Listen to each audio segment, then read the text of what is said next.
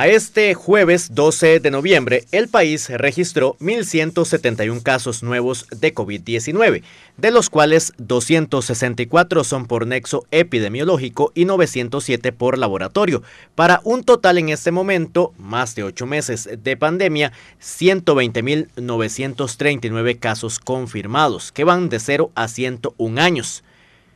Se contabilizan 74.255 personas recuperadas, más del 60%, de las cuales 35.780 son mujeres y 38.475 son hombres.